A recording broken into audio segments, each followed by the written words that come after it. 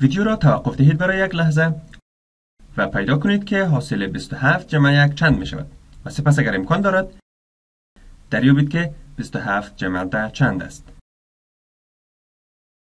بسیار خوب. پس بیایید که یک جا حلش کنیم.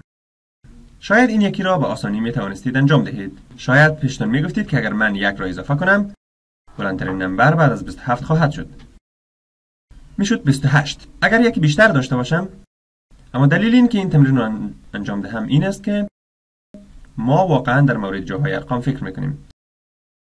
پس در اینجا عدد 27 ما یک دو در جای ده ها داریم. این جای ده ها است. دقیقا در اینجا. و بعدا ما داریم هفت در جای یک ها. می توانستید که عدد 27 را مثل دو ده ترسیم نمایید. من دو گروه از ده را اینجا دارم. و سپس هفت تا یک هم در اینجاست. و سپس اگر من یک تا بیشتر می داشتم آن یک تا بیشتر از اینهای انفرادی دارند. پس نزد من چند باقی خواهد ماند؟ خب من دو تا خب من تا حال دو ده دارم. من تا حال دو ده دارم. و حالا چند تا یک ها من خواهم داشت؟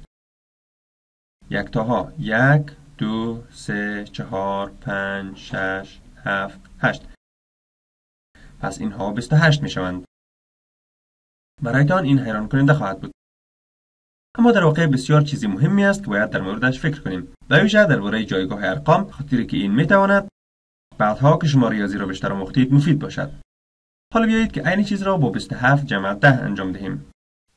ما قبلا گفتیم 27 که این متشکل است از دو ده و هفت یک. با ده یک در جای یک نیست. از این رو این تنها یک را نشان نمی دهد عدد یک در اینجا در جایگاه ده می باشد. از این رو ما داریم که یک ده و صفر یک. ما فقط داریم عدد ده تنها یک گروپی از ده در اینجاست.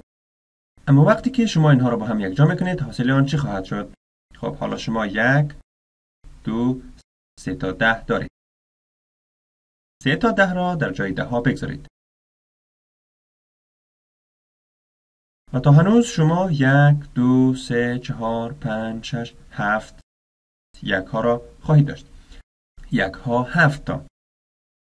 توجه داشته باشید. در اینجا که شما وقتی یک یک اضافه کردید شما خانه یک هایتان را به اندازه یک بلند بردید. و اینجا زمانی که شما ده را اضافه کردید که یک ده واقعی است شما جای یک ها را بلند نبردید. خانه ده را بلند بردید.